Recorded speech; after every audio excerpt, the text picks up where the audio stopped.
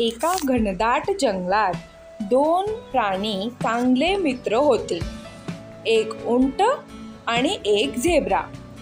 जरी हे दोन प्राणी एकमेकांपासून खूप वेगळे असले तरीही ते चांगले मित्र म्हणून ओळखले जात होते. असे असले तरी झेब्रा स्वतःच्या अंगावर असणाऱ्या सुंदर अशा काळ्या आणि पांढऱ्या पट्ट्यांमुळे स्वतःला खूप सुंदर आणि मोहक समजत होता. आणि आपल्या मित्राला म्हणजेच उंटाला तो कुबड्या आणि विचित्र पाय कुरूप पापण्या इत्यादींसह एक कुरूप प्राणी समजत होता. एके दिवशी उंटाने झेब्राला त्याच्या सोबत चिखलात खेळायला बोलवले. पण झेब्र्याने सरळ नाही असे उत्तर दिले. तो म्हणाला की त्याची काळी आणि पांढरी त्वचा घाण होईल. हे पाहून उंट खूप दुःखी झाला आणि तो चिखलात खेळायला एकटाच गेला. झेब्रा आपल्याकडे दुर्लक्ष करतोय असा विचार उंटाच्या मनात लगेच आला. आणि तो असे का बरं करत असेल याचा विचार करू लागला. काही दिवसांनंतर तिथे अचानक दुष्काळ पडला. जंगलातील पाणी उन्हाने आटायला लागले. कासवांनी तर तलावामध्येही पाणी टंचाईची तक्रार केली. ज्या तलावातून सर्व प्राणी रोज पाणी पितात त्यामुळे झेब्रा खूप काळजीत पडला. एक गाढव त्याच्या पाठीवर पाण्याच्या बादल्या घेऊन जाताना त्याला दिसले.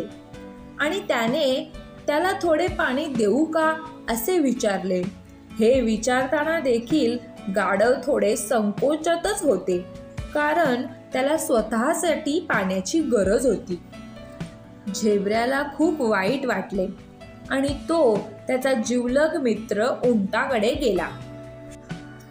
उंट म्हणाले की तू माझ्यासोबत चल मला वासाची तीव्र भावना असल्यामुळे पाणी कोठे आहे हे लगेच समजते. पण झेब्र्याने उंटाकडे पाहिले तर तो एकदम शांत होता.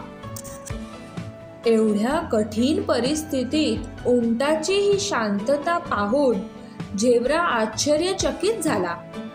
झेब्र्याने विचारल्यावर उंटाने खुलासा केला की त्याच्या पाठीवर झेब्र्याला न आवडणारी कुरूप गोष्ट म्हणजे त्याचे कुबड. हे पाण्याचा साठा करू शकते. या पाण्याचा वापर करून तो आठवडे महिनाभरही जगू शकतो.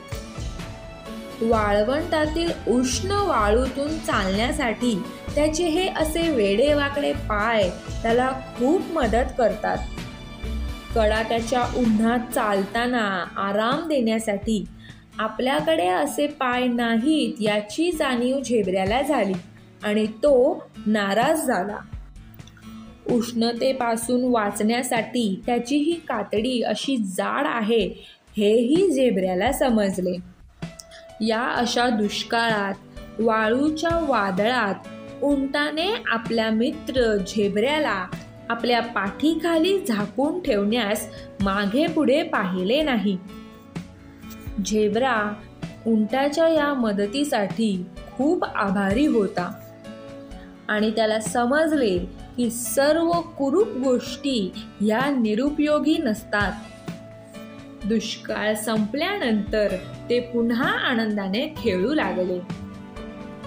या गोष्टीतून आपल्याला हे समजते की सर्वच सुंदर गोष्टी गरजेच्या वेळी उपयोगी पडतील असे नाही. आणि सर्व कुरूप गोष्टींकडे तुच्छतेने पाहिले जाऊ नये. ते तुम्हाला कधी उपयोगी पडतील हे सांगता येत नाही.